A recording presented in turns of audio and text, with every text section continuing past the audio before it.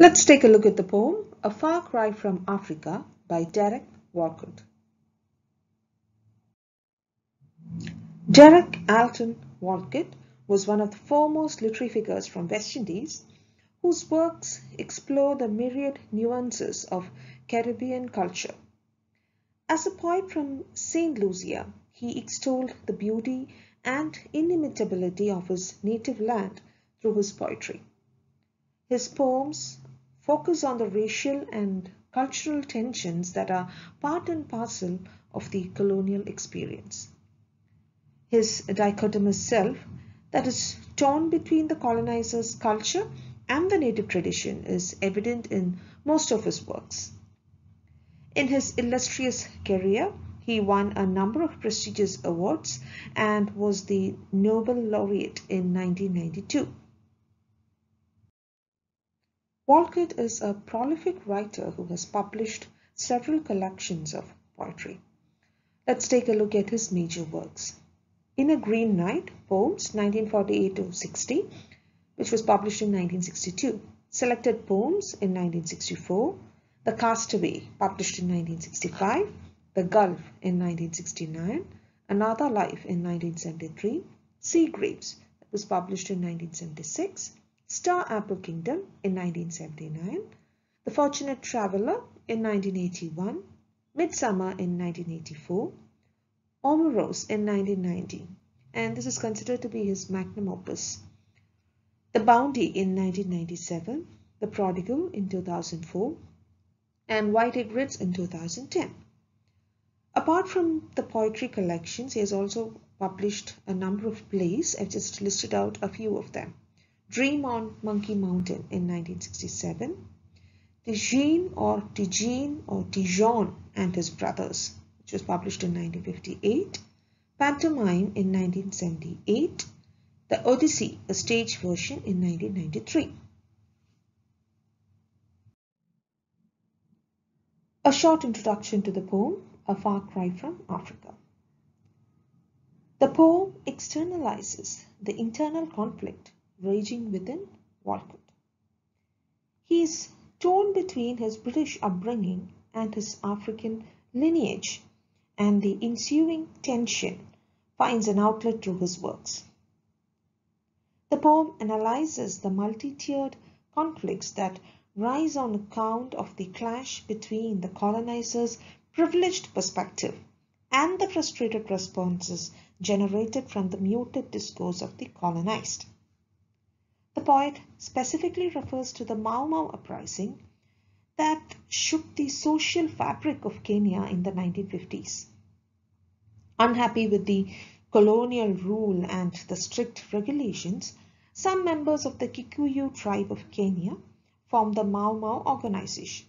The uprising soon turned especially violent and many people were killed. The poet here doesn't take sides and he condemns the violence of both the whites and the Mau rebels. The poem is written in free verse and it has no regular rhyme scheme. The title of the poem is rather ambiguous. Is the poet referring to a distant cry from Africa? As he heard the cries echoing from the distant Africa? Or is he referring to his physical distance from Africa. Walcott grew up in the island of uh, St. Lucia and was only familiar with the idea of an African motherland during his early years. It was much later in his life that he came to know more and more about Africa. Or uh, is he suggesting that the situation is not as it seems on the surface and that the events are far removed from the Africa of popular imagination? As he comes to know more about Africa, is he disillusioned that it is not the idealized homeland that he thought it was? Now let's analyze the poem in detail.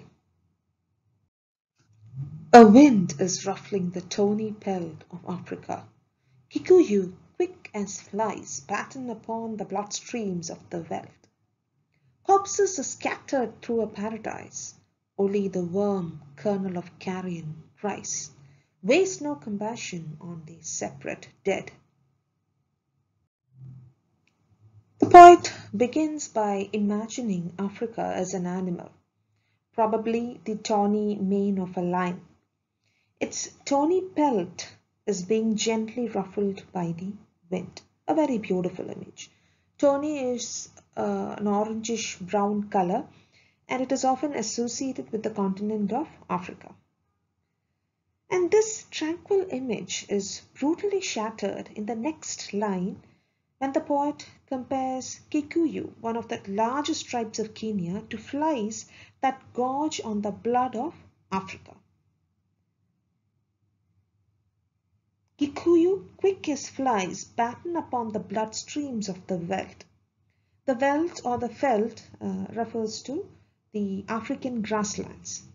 Another ideal image is shattered when the poet compares Africa to a place that is littered with corpses it is no longer the paradise that one imagined it to be. Rather, it is a hellish place where dead bodies are strewn left and right.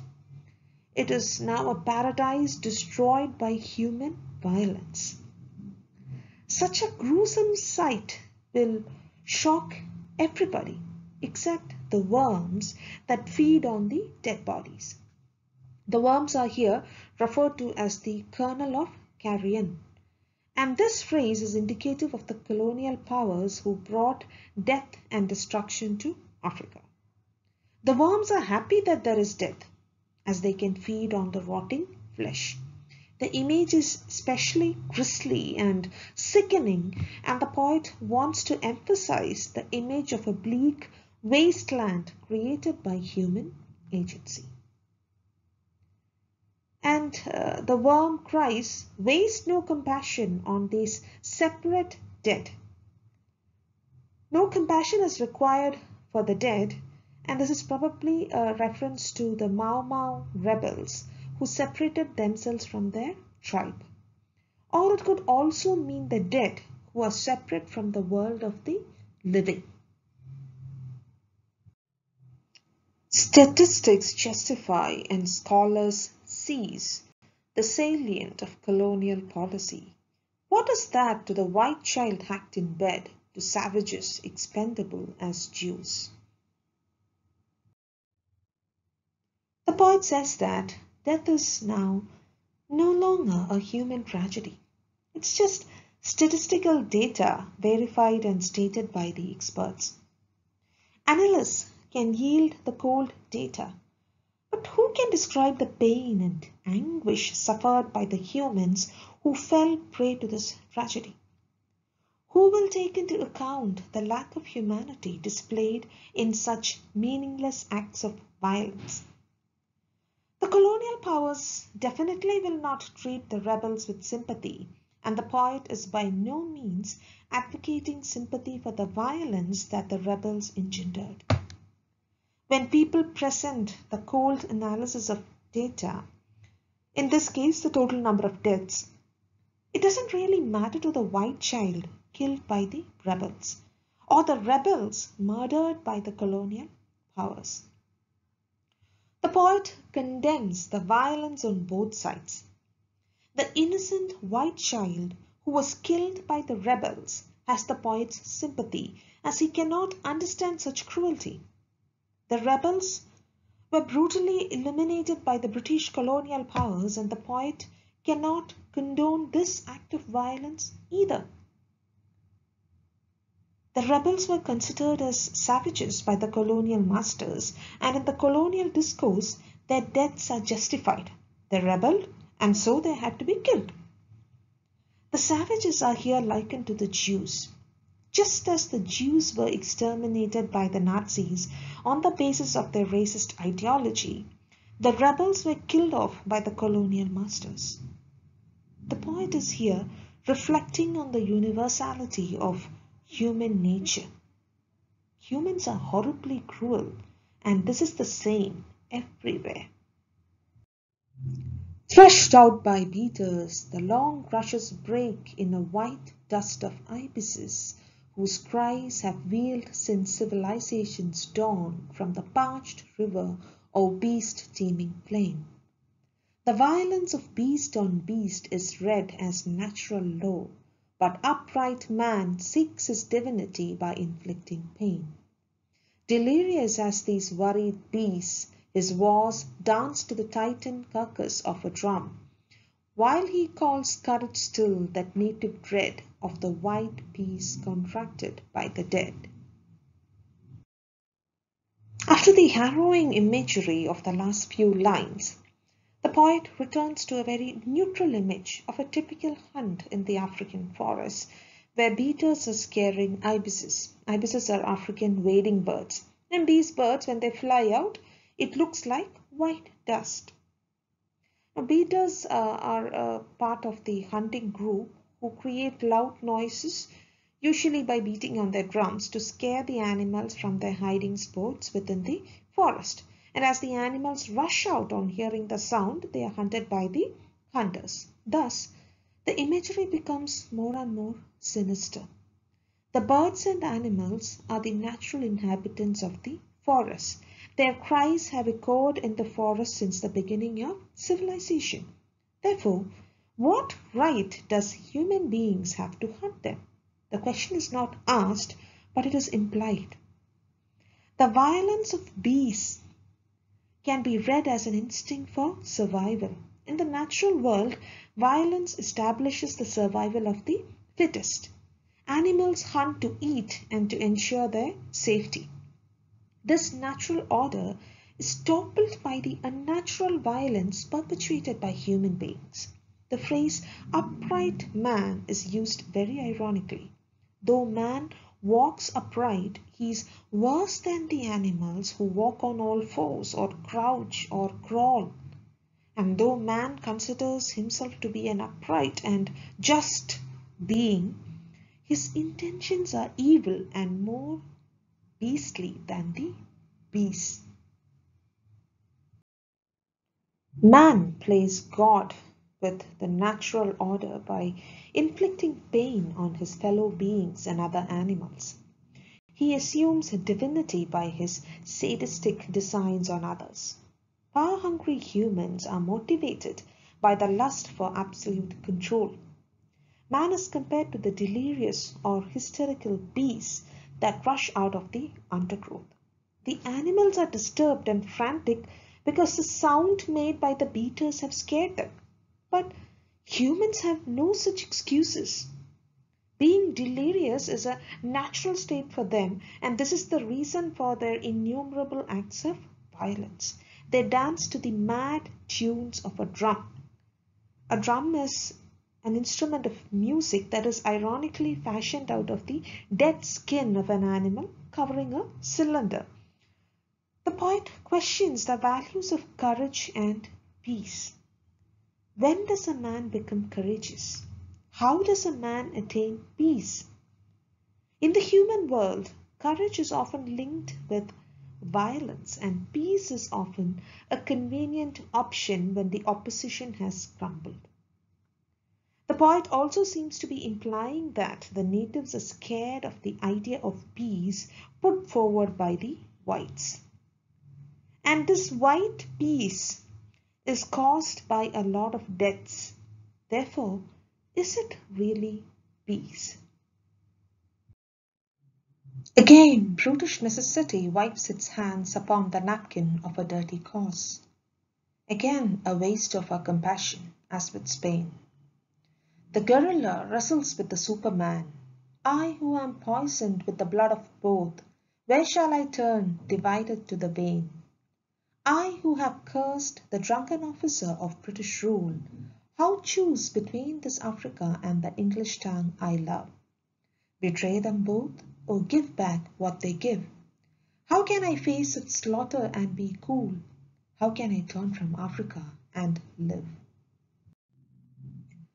The poet comments on how the colonizers justified their violence as a brutish necessity. This is possibly a reference to how the Mau Mau rebels were suppressed. Or it could uh, even be a reference to how the colonizers perpetuated a vicious chain of violence on the colonized, all in the name of culture and progress. They have tried to assert their version by glossing over their atrocities, but the poet says that their reasons are far from noble.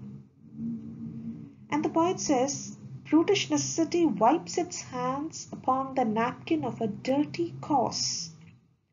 He is referring to the fact that no matter how many reasons the colonizers can come up with, it remains without saying that their actions are cruel and dirty. It's a reference to colonialism and its aftermath.